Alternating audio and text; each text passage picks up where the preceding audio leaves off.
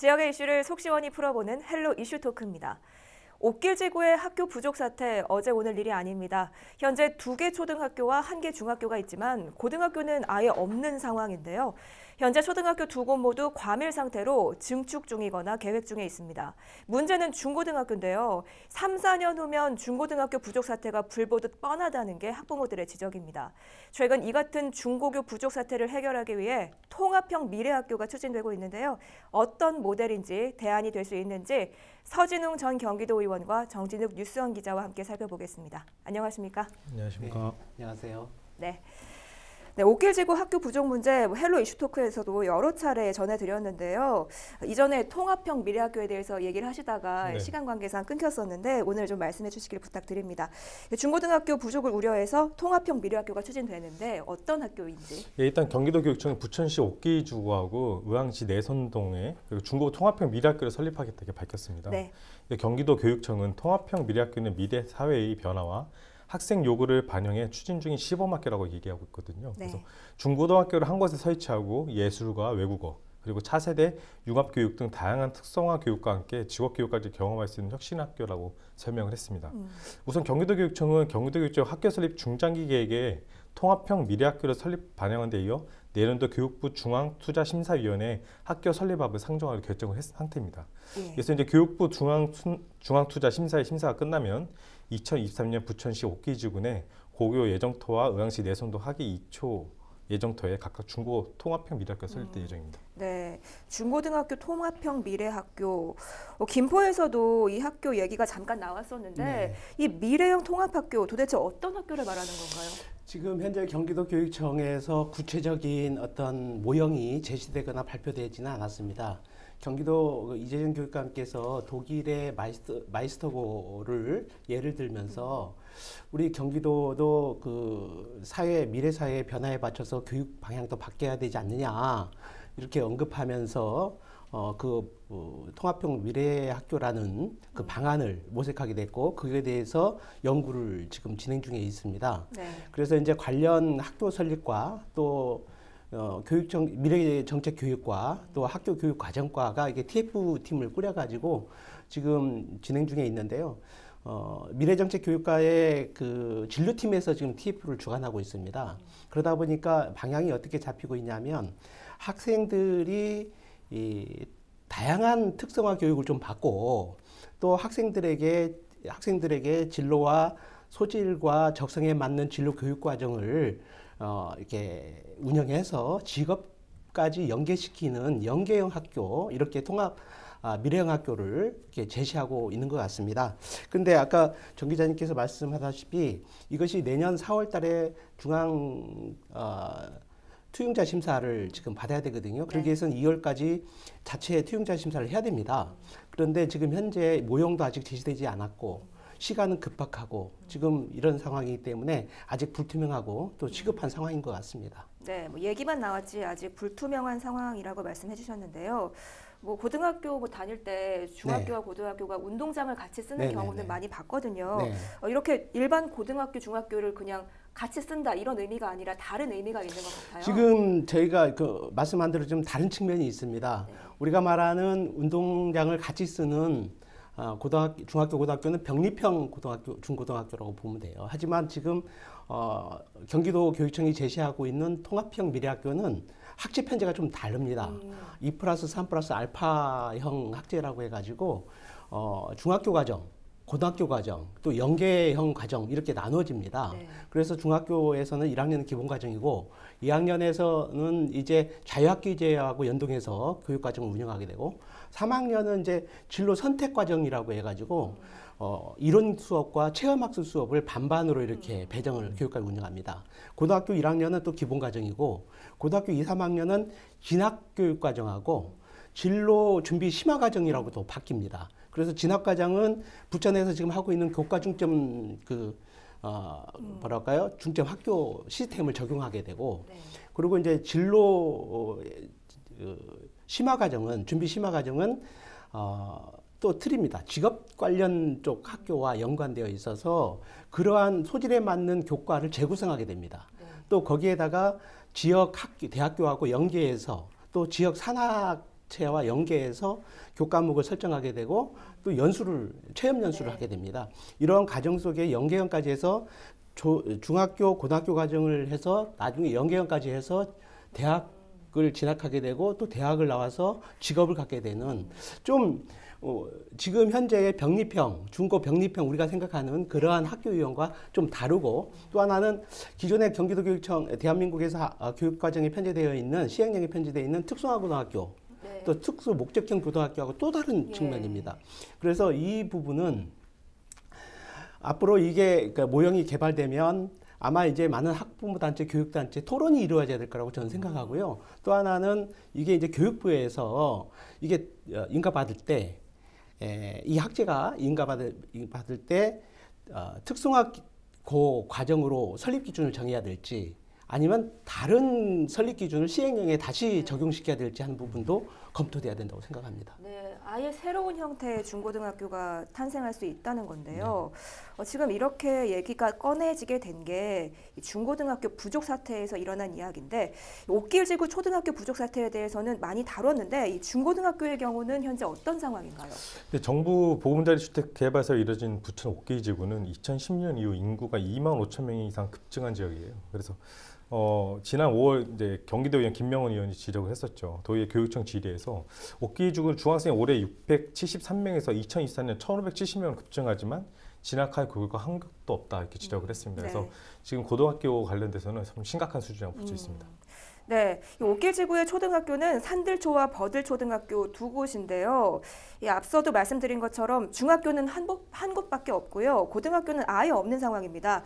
이 당장 초등학교 6학년이나 중학교 3학년 자녀를 둔 학부모들은 걱정이 앞설 수밖에 없는데요. 학부모들의 목소리 직접 들어보겠습니다. 10반, 2학년 10반, 3학년 10반으로 이렇게 지어져 있어, 있어서 그런 부분은 아직까지는 괜찮지만 차후에 지금 버들초에서는 10반, 어, 산들초는 13반이 있다 보니 차후에 이 학생들이 어, 중학교로 진학할 때에는 어, 교실이 부족한 현상이 일어날 것 같아서 어, 걱정이 많이 되고 있어요. 범박동과 소사동으로 고등학교를 진학해야 하는 상황이고 이마저도 옥길동 아이들의 그 유입으로 인해서 좀 경쟁이 많이 과열되어 있는 상황이고요.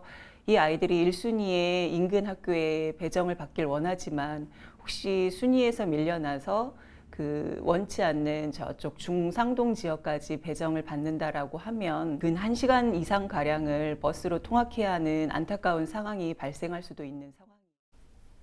네, 중학교와 고등학교 진학을 앞둔 자녀를 둔 옥길동 학부모들의 이야기 들어보고 왔습니다. 네, 이런 상황에서 통합형 미래학교가 대안으로 떠오르고 있는데요. 이 교육 전문가들은 이 통합형 미래학교에 대해서 우려의 목소리도 내고 있다고요. 예, 아까 의원께서 말씀하신 교육청 안에서도 아직까지 이 부분에서 깊게 이해하는 부분은 없는 것 같아요. 그래서 일단은 교육 일선에서는 일단은 부정적인 메시지가 좀 있습니다. 어떤 부분이 있냐면은 일단 교육적으로 바라보는 초등학교, 중학교 교육과정 연계라는 것이 약간 어떻게 이상적이 보일 수도 있지만 이게 상당히 힘들다는 거예요. 초등학교 교육 과정이 따로 있고 그리고 중학교 교육이 따로 있는데 이게 분절되어 있다는 거죠. 근데 이것을 연계만 시킨다면 되게 이상적인 교육이 되겠지만 그것이 현재 시스템이 되지 않는다는 거예요. 그래서 이 부분이 상당히 힘들 것이고 그리고 이 연결되면서 또 교사들도 자꾸 바뀐다는 점이죠. 이 지속성을 유지하기도 상당히 힘들다는 점 그런 부분을 지적했다는 거군요. 그래서 1년이 지나면 사람이 바뀌고 사람이 자주 변동되는 시스템 이런 것에 때문에 이 시스템, 이 통합형 학교가 추진되기는 약간 한계점이 있다는 점 이 말 말씀드리고 싶고요. 또 하나는 이제 두 개 학교, 그러니까 초등학교와 중학교 예산을 쓰는 부분에도 문제가 있어요. 초등학교에서 만약에 이게 통합형 학교라서 예산을 같이 쓸 수 있을 거라 판단하지만 현재 법 체제가 그렇지 않습니다. 네. 초등학교에서 예산이 남아서 어, 중학교에도 넘기려고 하면은 그 법적인 제도가 막혀 있어요. 그래서 이 예산 부분도 상당히 법적인 부분이 막혀 있다. 그래서 아, 법적인 부분이 이 시스템을 쫓아가지 못하고 있다. 이런 네. 부분을 말씀드릴 수 있고요. 또 하나는 이것이 그냥 인원수가 너무 갑자기 늘어나다 보니까 학교 이런 학교에 세워서 학생들을 넣자라는 그냥 일수 그러니까 단순하게 나온 그 발상에서 나왔다면 이게 큰 문제거든요. 그래서 정말 교육청이 이것을 10년, 20년을 보고서 이 부분을 추진하는 것인 추진하고 있는 내용인지 근데 현재는 그렇지 않다, 않다고 봅니다. 그래서 이 부분에서 상당히 고민을 많이 해야 될 부분이라고 생각합니다. 네. 어, 서진웅 의원께서는 어떻게 보십니까? 이 통합형 미래학교가 옥결지구 학교 부족 사태 해법이 될까요? 저는 이 모형에 따라서 달라질 수가 있다고 봅니다. 지금 정 기자님께서 말씀하셨다시피 우리나라가 이 과정을 장기적으로 계획한 건 아니잖아요. 그래서 물론 이제 특성화고등학교들이 있고 종합고등학교들이 어떤 모형을 갖고 있기는 합니다만은 이게 지금 우리가 학부모들이나 지역사회나 또 우리 교육계가 전반적으로 인정하는 과정까지는 오지를 단계까지는 오지를 못했습니다. 지금 이 모형이 2 플러스 3 플러스 알파 학제형 모형이 예를 들어서 옥길 지구뿐만이 아니라 우리 전체적으로 이게 성공 케이스라면 얼마나 행복한 교육제도겠어요. 네. 근데 이게 해법이라고 보기에는 좀 어렵다고 저는 봅니다. 왜냐하면 옥질 지구에서 요구하는 것은 일반계 고등학교를 지금 요구하고 있거든요. 그래서 중고 병설형 어, 일반계 고등학교를 해달라 이렇게 하는 것이고 지금 교육청에서 제시하고 있는 것은 또 다른 학제 편제의 그 모형을 지금 제시하고 있는 거기 네. 때문에 어, 어떻게 보면 어, 이게 이제 나중에 에, 옥길지구 학부모들 또 부천의 지역단체 학부모들하고 이 모형이 제시돼서 논의될 때에 상당히 또 다른 어, 어, 토의 방향이 다른 쪽으로 전개되지 않을까 이게 또 우려스럽기도 합니다. 네, 그 지역 학부모들은 일반형 고등학교를 원하고 있는데 그렇죠. 네, 특수고는 아니지만 그런 비슷한 류의 고등학교가 생기는 것이죠. 그러니까 이제 이거죠. 예를 들어서 이제 옥길지구는 이제 갑자기 이제 그 학생 수가 많이 늘어나는 거 아닙니까? 또 이제 초등학교, 중학교 졸업하면서 자연히 이제 고등학교로 아이들이 진학하게 되니까 통학거리가 상당히 멀다 보고 예. 그리고 교육권 침해가 되는 것이기 때문에 옥길지구의 학부모들이 수차에 걸쳐서 고등학교 일반계 고등학교를 어, 건설 설립을 어, 요청하고 있고 네. 그걸 부합하려고 하다 보니까 지금 우리 그 뭐라고 할까요? 그 부천의 고등학교 그 학생 수가 상당히 급감해 있어요. 그래서 학교마다 정원이 지금 급당 25명으로 되어 있거든요. 그러니까 교육청 입장에서는 어디야 이게 학군이 하나로 돼 있기 때문에 이게 배치를 이게 추첨제 배치를 하게 돼 있거든요. 그런데 이게 학교를 설립하면 그게 또 문제가 돼요. 그러다 네. 보니까 아, 일반계 고등학교를 중퇴에서 또 그게 통과가 안 되기 때문에 어떻게 설립을 할 수 있는 방법이 없어요. 그러다 보니까 새로운 대안으로 내놓은 게 네. 이게 중고 통합형 미래학교라는 이렇게 이런 학제를 통해서 설립할 가능성을 한번 어, 검토해 보는 거죠. 네. 어, 부천의 경우에는 고등학교 부지는 있지만 이 학교 네. 총량제에 묶여서 교육부로부터 고등학교 설립 허가를 받지 못한 상황이잖아요. 네네. 이 중고등학교 통합형 미래학교는 가능한 겁니까? 어, 검토는 가능하다고 봐요. 이 학제가 교육부로 인정이 받고 그게 통과된다면 가능하죠. 그런데 문제는 아까 좀 전에 제가 말씀드렸다시피 지금 우리 부천의 고등학교의 정수를 다 채우지 못하고 자꾸 학급 수가 줄어들고 네. 있는 거거든요.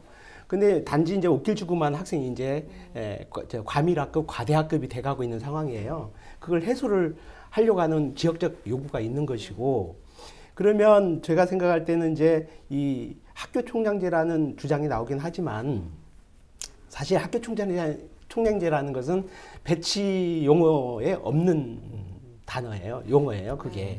그게 이제 예전에 어느 지역에서 학교를 어, 이 신설을 요청을 했는데 중앙 투용자 심사에서 그것을 통과시키면서 조건으로 걸은 게 에, 그 학교 통폐합 내지는 학, 학교 수 조정을 조건으로 해서 그게 통과된 경우가 있거든요. 그래서 그게 이제 총량 조절 아니냐 해서 학교 총량제라는 용어가 네. 나오기 시작한 거죠.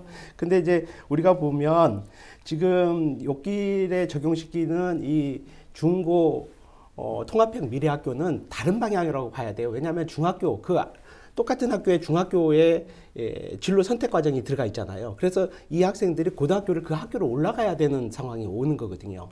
그런데 옥길에서는 그렇게 되면 편제가 틀리기 때문에 부천은 어, 학군제거든요. 일반계 고등학교가. 추첨해서 배치, 배치 를 해야 되는데 일반 계고 입시 정 아니 입학 전형과 이 학교의 입학 전형이 다를 수가 있어요. 이 학교는 진로에 연관돼 있는 학생들이 올 수밖에 없는 학제를 구성하고 있기 때문에 네. 학교 학생 모집 단위가 틀려질 수가 있어요.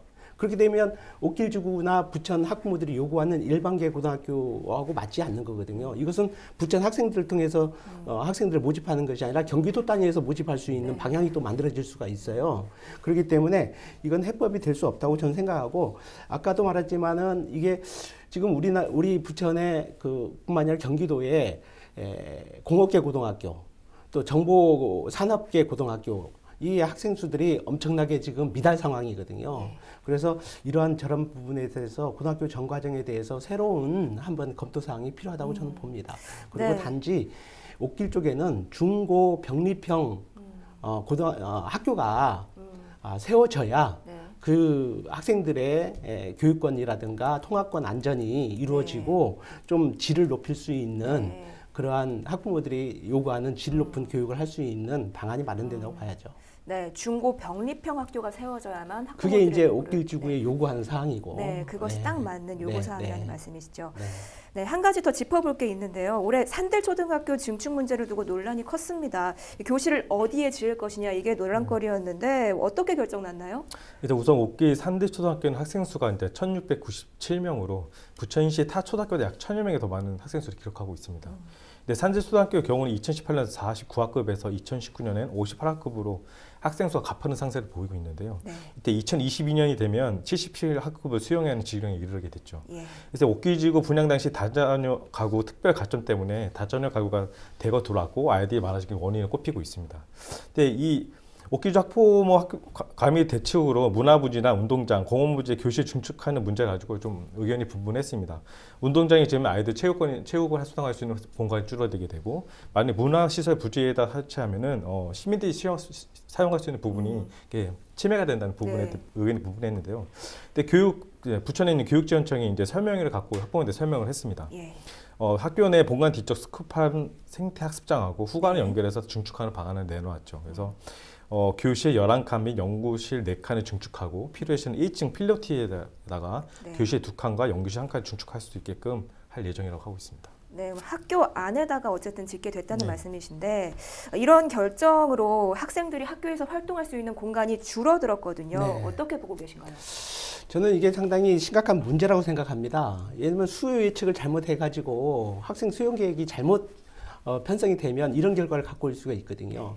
예를 들어서 지금 산들초등학교, 버들초등학교가 똑같은 부, 문제인데 학교 운동장이 축소되거나 없어지거나 이렇게 많이 있어요. 예를 들어서 어, 일반계 일반 교실과 아, 목적 교실이 있단 말이에요. 네. 그 목적 교실을 일- 일반 교실로 하게 되면 학교 운영에 문제가 있어요. 아니면 아이들의 소질과 적성을 개발할 수 있는 공간도 없어지게 되는 것이고요.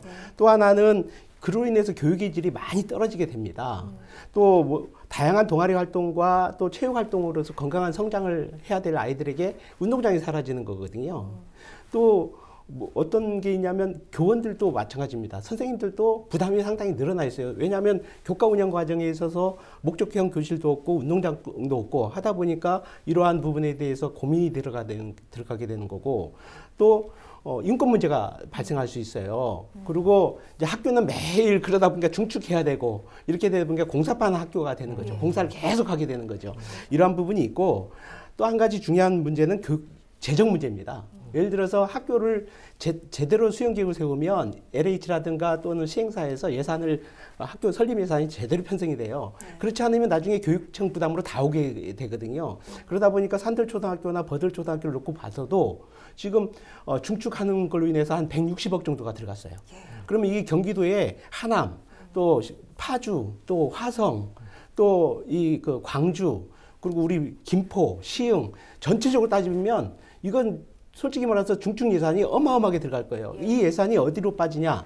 정당하게 아이들의 교육의 질, 그러니까 교육 환경 개선과 교육의 질을 높일 수 있는 교육 과정에 투입돼야 될 예산이 수용 계획 잘못 세워가지고 시설 예산, 건축 예산으로 다 빠지게 되는 거거든요. 이것은 심각한 책임 문제가 따른다고 저는 봐요.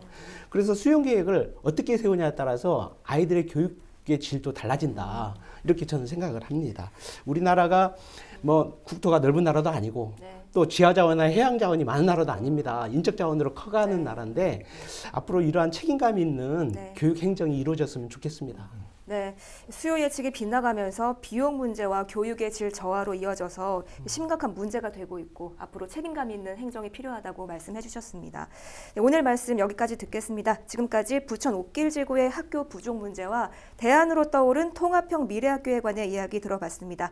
헬로 이슈토크 여기서 마칩니다. 시청해 주신 여러분 고맙습니다.